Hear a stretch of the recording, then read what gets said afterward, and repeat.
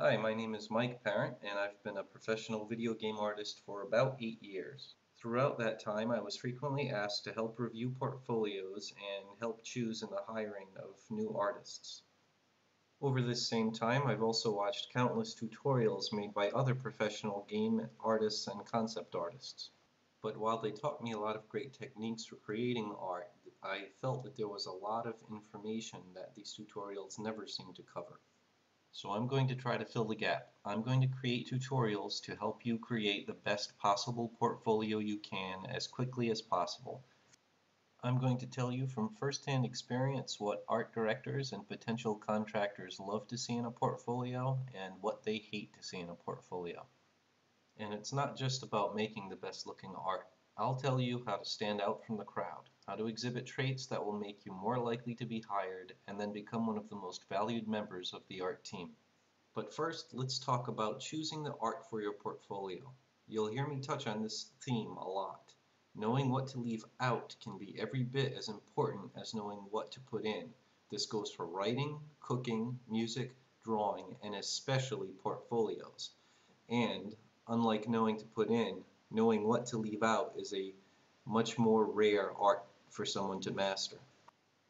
Especially in this industry, nothing is more valuable than time. Art directors don't have the time or interest in seeing everything you've ever made, and especially don't care how amazingly good your drawings were in grade school.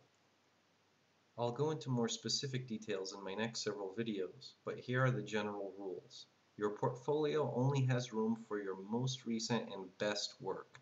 If you have a piece of art that's several years old that you think belongs in your portfolio, then there's probably something wrong. If there's more than two images that show the same general style, theme, and skill set, then only the best one or two maximum should be left in the portfolio. If it looks like you did it for a class in high school or during a figure drawing session, then be careful. This type of drawing should be limited to one single sketchpad type image in your portfolio. The trick I suggest, pick only the best of these figure studies, cut them out in Photoshop, and arrange them onto a single image so it looks like one very strong page from what must be an amazing sketchbook. They like to know that you can draw, and the ability to draw people is a critical skill, but you're applying to be a game artist. Aside from that one sketchbook page image, all images in your portfolio should look like it was made as part of the process of making a game. They aren't just looking for someone who can draw, they're looking for someone who loves games and loves making them. If they see a portfolio, no matter how good the art, where not a single image is related to video games, they will know something is very wrong. If there's no game art in your portfolio, you clearly aren't that into it.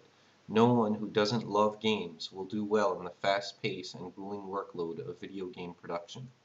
Making art for games is not just about drawing cool things. It requires the constant application of a vast amount of specific technical knowledge.